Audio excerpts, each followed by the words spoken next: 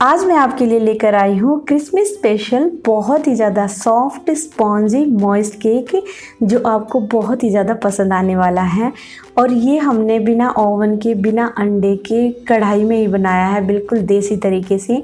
आप भी ऐसे बना सकते हैं क्रिसमस स्पेशल आप कुछ कर सकते हैं। और बहुत ही ज़्यादा ये सॉफ्ट है और जो हमने इस पर क्रीम यूज़ की है, वो बहुत ही ज़्यादा सॉफ्ट मुँह में घुल जाने वाली क्रीम बनाकर तैयार की है। बिना बीटर के, बिना किसी विप क्रीम के हमने इसे घर पर ही बनाया है। एकदम आसानी से आप भी ऐसे ही बना सकते हैं। तो इस क्रिसमस पे आप ऐसा केक बनाइए और अपनी फैमिली के साथ उसे इंजॉय कर सकते हैं। तो चलिए शुरू करते हैं इस रेसिपी को।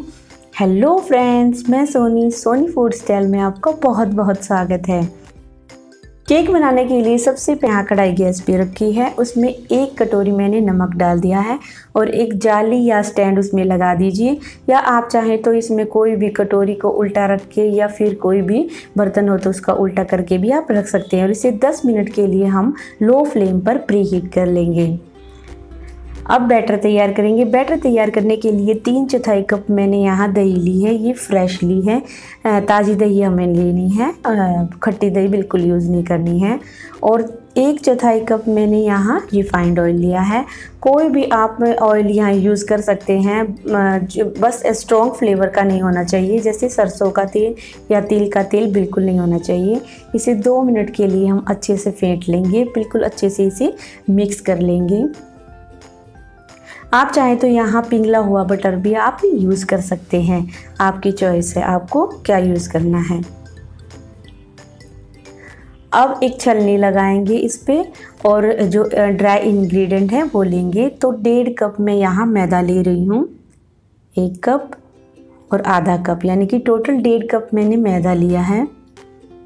तीन चौथाई कप मैंने यहाँ पाउडर शुगर लिया है। आपके पास पाउडर शुगर नहीं है तो आप चीनी को मिक्सी में पीस सकते हैं। एक चम्मच मैंने यहाँ बेकिंग पाउडर लिया है। एक चौथाई छोटी चम्मच बेकिंग सोडा लिया है। इसे अच्छे से छान लेंगे। सभी चीज़ों को अच्छे से छानना बहुत ही ज़्यादा इम्पोर्टेंट है।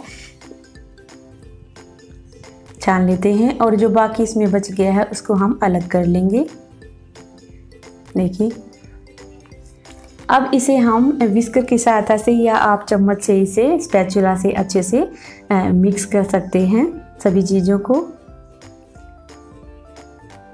अब मैंने यहाँ तीन चौथाई कप दूध लिया है तो थोड़ा थोड़ा दूध हम डाल दे जाएँगे और अच्छे से इसे मिक्स कर दे जाएँगे। एक ही डायरेक्शन में हम सभी चीज़ों को आ, मिक्स करना है।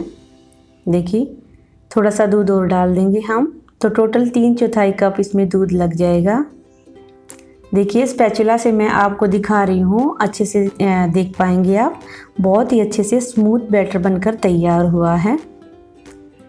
अब मैंने यहाँ एक केक टिन ली है। अच्छे से तेल से, घी से आप ग्रीस कर लीजिए। और इसमें मैंने पेपर लगाया है। कोई भी आप नॉर्मल पेपर ले सकते हैं या बटर पेपर भी आप ले सकते हैं।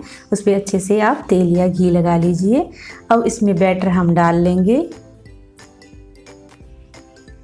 और जो हमने कढ़ाई प्री हीट करने के लिए रखी है उसमें हम इसको रख देंगे। दो से तीन बार इसे अच्छे से टैप करेंगे। तो कढ़ाई भी अच्छे से गर्म हो गई है। अब हम केक टिन इसमें रख देंगे और इसे अच्छे से ढक देंगे। करीब करीब 35 से 40 मिनट तक हम इसे बेक करेंगे। एक बार 30 मिनट के बाद आप इसे चेक कर सकते हैं। अगर आपको लगे कि ये अच्छे से बेक नहीं हुआ तो पाँच मिनट आप और इसे अच्छे से बेक कर लीजिए। पैंतीस मिनट हो गई है तो चेक कर लेते हैं केक बना है कि नहीं। देखिए, केक अच्छे से फूल गया है तो अच्छे से ये बेक हुआ है, आप देख पा रहे होंगे। तो एक टूथपिक लेंगे और उसमें डाल के देख लेंगे। देखिए, टूथपिक बिल्कुल क्लीन है, एक बार और दिखा रही हूँ मैं आपको। टूथपिक एकदम क्लीन है तो ये बेक अच्छे से हो गया है। अब हम इसे 10 मिनट के लिए ऐसे ही छोड़ देंगे ठंडा होने के लिए। देखिए, केक अच्छे से ठंडा हो गया है। आप देख पा रहे होंगे, इसके किनारे बिल्कुल अच्छे से अलग हो गए हैं। अगर आपको लगे कि किनारे अलग नहीं हैं तो आप चाकू की सहायता से इसे अलग कर सकते हैं। ये बहुत ही आसानी से अलग हो जाएँगे। और अब हम इसे एक प्लेट में निकाल लेते हैं।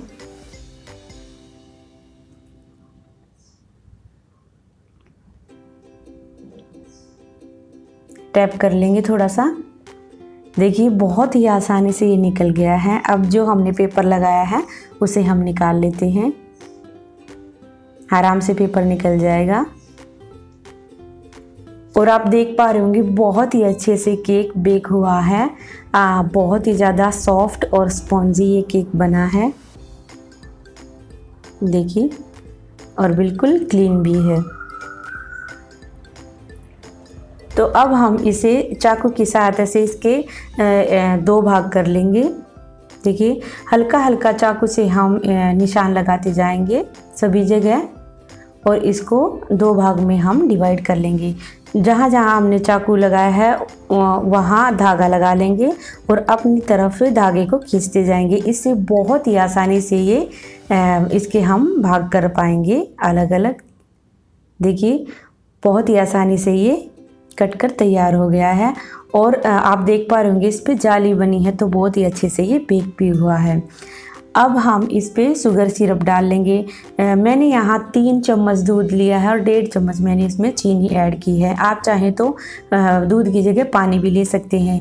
इससे बहुत ही अच्छे से ये मोस्ट केक बनेगा। बिल्कुल सॉफ्ट और अंदर तक बिल्कुल मोस्ट केक बनकर तैयार होगा। और दूध लिया है तो इससे बहुत ही ज़्यादा टेस्टी भी लगेगा। अब मैंने यहाँ क्रीम बनाई है। क्रीम की वीडियो मैंने आपके साथ शेयर की है तो वहाँ जाके आप चेक कर सकते हैं। बिना किसी बीटर के, बिना किसी विप क्रीम के हमने ये क्रीम बनाकर तैयार की है। तो इसे हम फैला लेते हैं अच्छे से।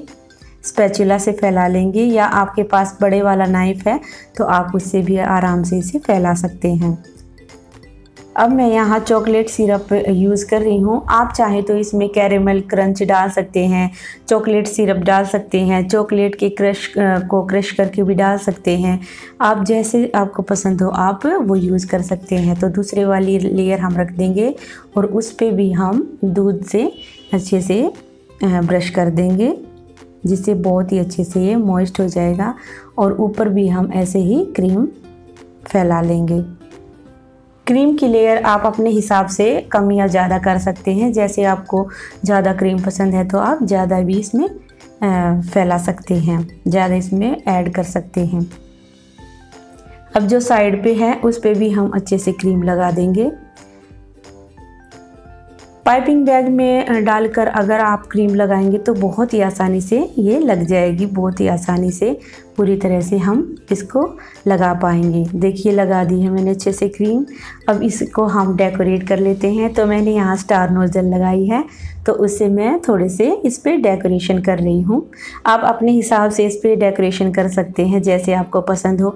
आप चाहें तो क्रीम में कोई कलर भी आप यूज़ कर सकते हैं जिससे और भी ज़्यादा ये सुंदर लगेगा। और मैंने यहाँ थोड़े से चॉकलेट स्क्रैप लिए हैं। चॉकलेट को मैंने कद्दूकस कर लिया है। आप चाहें तो बड़े बड़े स्क्रैप भी इसके बना सकते हैं। तो इसको हम साइड में भी लगा देंगे केक के, जिससे बहुत ही अच्छा ये सुंदर केक लगेगा।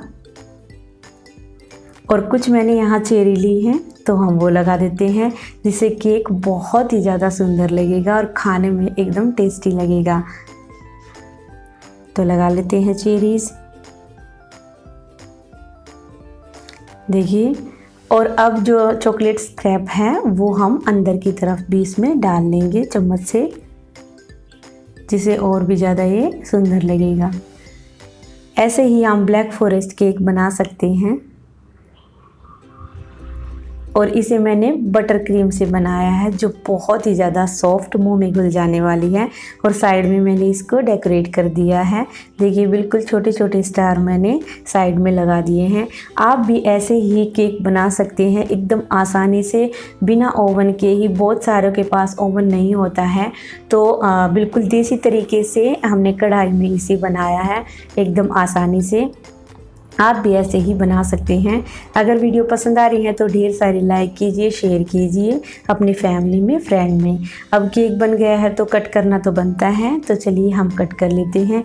और कट करने से पता चल रहा होगा कि बहुत ही ज़्यादा सॉफ्ट मॉइस्ट एकदम स्पॉन्जी केक बनकर तैयार हुआ है। और चॉकलेट सिरप से और भी ज़्यादा ये टेस्टी हो गया है। आप चाहें तो कैरेमल क्रंच भी इसमें डाल सकते हैं, वो भी बहुत ज़्यादा टेस्टी लगेगा और एकदम सॉफ्ट बना है। तो आप भी ऐसे ही बनाइए, खाइए और अपने एक्सपीरियंस मेरे साथ शेयर कीजिए। वीडियो पसंद आ रही है तो ढेर सारे लाइक कीजिए शेयर कीजिए अपने फैमिली में फ्रेंड में। सोशल साइट्स पे आप इसे शेयर कर सकते हैं। मुझे इंस्टाग्राम पे और फेसबुक पे फॉलो भी कर सकते हैं। और देखिए, आप देख पा रहे होंगे, एकदम मॉइस्ट केक बनकर तैयार हुआ है। तो चलिए मिलते हैं एक नई वीडियो के साथ। तब तक के लिए bye bye friends thanks for watching merry Christmas to all